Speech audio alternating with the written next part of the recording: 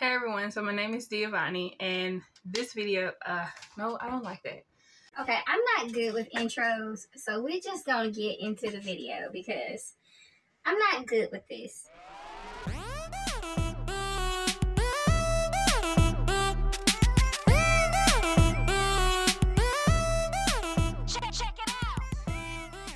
So here's a list of five things that I wish I knew before I began oil painting. First one on my list is.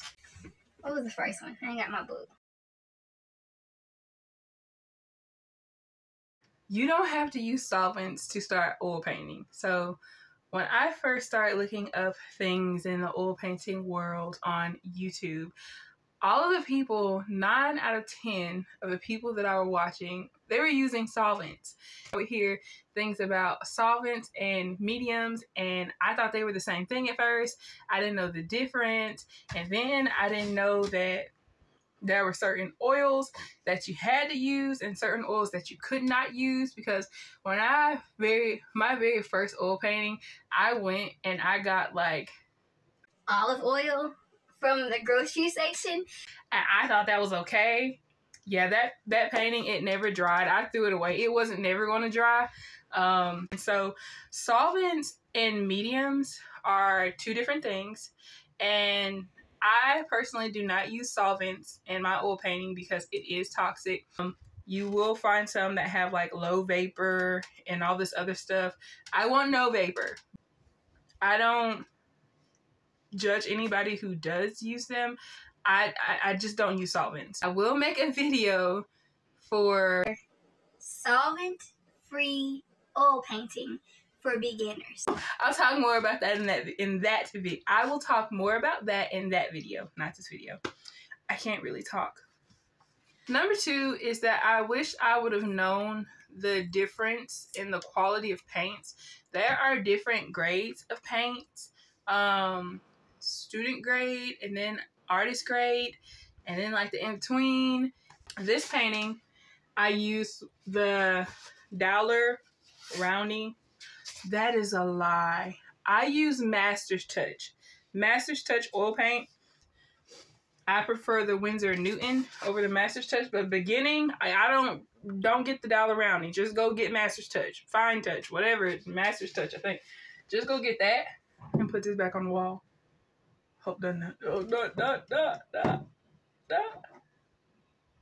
Okay, good enough. You painted something with the Daler-Rowney and you went and painted the same thing with the Winsor Newton. You might find that the Winsor Newton looks better than the, the Daler-Rowney. And it's not that your technique was bad, it was just the paint wasn't giving the richness that you needed it to give. So, yeah, I wish I would have known that. Number three, I wish that I would have known that I did not need to buy every single paintbrush. When you're beginning a new craft, I know for me, it's like you get excessive over it, and it's like, let me go buy everything. Let me go buy everything that the experts and the advanced people are buying because they're using it. That means I gotta get it. Uh, you don't need a glass palette.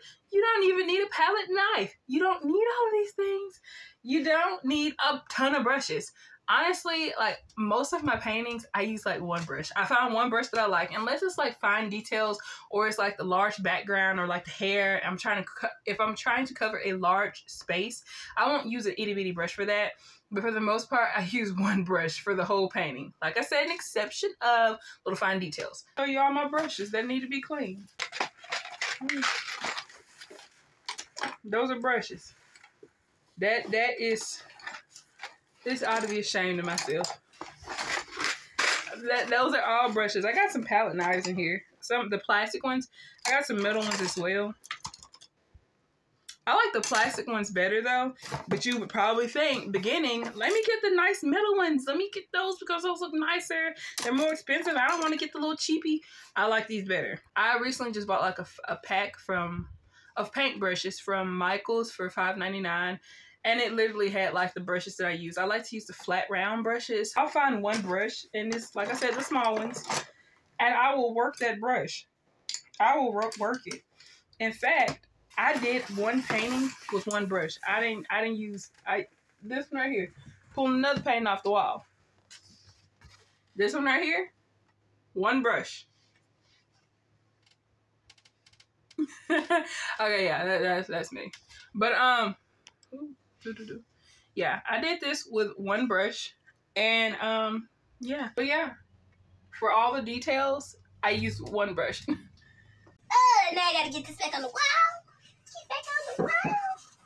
Yeah, like starting out, I just thought that I needed to buy like all the expensive stuff. And I thought I needed a lot of brushes and a lot of all this stuff. And you don't. I will make a, like I said in my video for beginning oil painting solvent free, I'm gonna make a video of just like the short little supply list of the things you need because it's not much. I don't want to put it all in this video because, you know, we gotta leave some stuff for other videos. We gotta do that sometime. So, um, do not get the little, um, little 99 cent pack I don't like them because those bristles on those brushes look like that. And like when you're trying to put in detail, you're gonna be getting paint everywhere. So I don't recommend those, but like you don't need expensive brushes. Like you don't need to go spend a hundred dollars on a brush set. No, like no. I don't think I'll ever do that. Mm-mm. I don't care if my artwork is in a gallery, in a museum. I'm not using unless somebody gift them to me. But yeah. Number four, what I wish I knew. Every piece does not need to be a masterpiece. So, like, every time I paint it, I would think that I'd get this canvas, this large canvas. Don't don't even start out with no large canvas. Go get you a little small, eight by 10, nine by twelve. Don't get these huge canvases thinking I'm finna make some some I'm gonna make a masterpiece. I'm I'm going in. Don't do that. Don't do that. Not as a beginner, because I have paintings that I have yet to finish. Back here. Oh, it's more than just this though. I'm gonna finish them. I'm gonna finish them one day. But I have so many paintings that I did not finish because I started out too grand, and then like I would be intimidated because I felt like everything needed to be a masterpiece. So before I even started painting, I put so much pressure on myself to make it look good. And if it didn't look good or, you know, it didn't turn out the way I wanted, I feel discouraged. Like putting so much pressure on myself that I didn't even want to begin. And the whole process of painting is that sometimes you're going to paint things and they're not going to look good, okay?